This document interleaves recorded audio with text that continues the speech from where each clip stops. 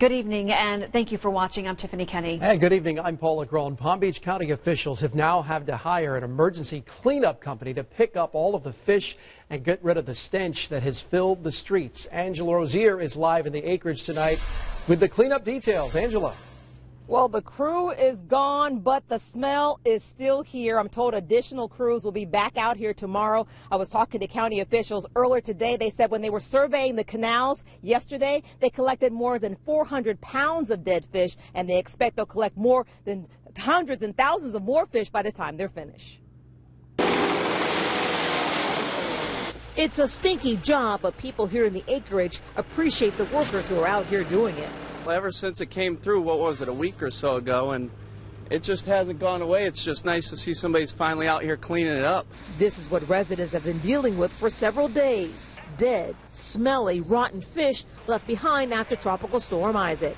And the fish just got caught up in, in, the, uh, in the overwhelming flow of water, and they collected at every point where the canals crossed a road. We see a lot of uh, a high concentration of dead fish. Palm Beach County officials hired a private company to do the job. They started at around 7 Tuesday morning. We caught up with the crew as they collected dead fish floating in this canal that runs along 170th Avenue.